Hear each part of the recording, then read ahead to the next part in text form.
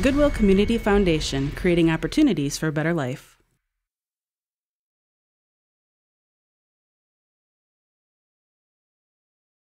Word 2013 is a powerful word processing program. You can use it to create documents, resumes, newsletters, and just about anything else you can imagine. When you open Word, there's a good chance you'll be taken to the Start screen first. From here, you can access recent documents or create something new, either from scratch or from a template. In this example, we'll click Blank Document. Next, you might want to take a minute to explore the interface and make sure you know your way around.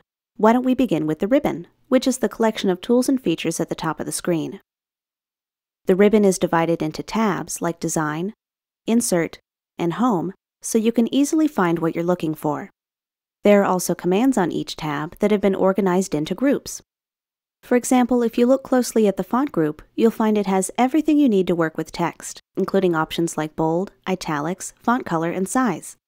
Some groups even have an arrow in the bottom right corner that you can click to view even more commands. If you ever feel like the ribbon is taking up too much space, you can always hide or minimize it. All you have to do is click the arrow in the upper right corner, then choose the option you want. Also in the upper right corner is a place where you can access your Microsoft account. Here you can update your photo, manage your account settings, or switch to a different account altogether. You can even customize your copy of Word to make certain commands more convenient. Take the Quick Access toolbar in the upper left corner. This area gives you access to frequently used commands like save and undo no matter where you are in the ribbon. To add more commands, just click the tiny arrow next to the toolbar, then choose the ones you want. I'm going to add new and also quick print because I use both of these commands pretty frequently. Now let's take a look at the work area itself. That's the space in the center where you'll actually create and edit documents. In this example, I've opened a report that I'm working on. At the top and to the left, you should see two small rulers. These make it easier to adjust your document and control the layout of your text.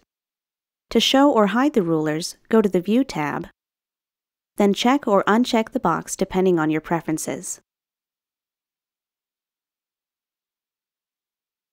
In the bottom right corner, you'll find a few more tools that let you change the way your document is displayed.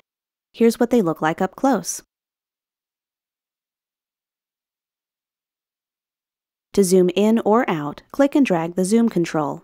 The number next to the slider will tell you what the zoom percentage is. You can also switch between different document views using these three icons. Read mode opens the document full screen. This view is great for reading large amounts of text or simply reviewing your work. Print layout is the default. It shows you what the document will look like on the printed page. Web layout displays the document as a web page. This can be useful if you're actually using Word to publish content to the web. Last but not least, I'd like to give you a quick tour of the Backstage view. You can get there by clicking the File tab. Just look for it on the far left of the ribbon. Here you can access all kinds of information related to your current document and more. This includes commands like New, Open, Save, and Print. All you have to do is click an item, and it'll open in the right pane. This makes it easy to find what you're looking for and review your options all in one place. That covers the basics of Word 2013. Now that you're comfortable with the interface, including the Backstage view, the ribbon, and the work area, you're ready to start your first document.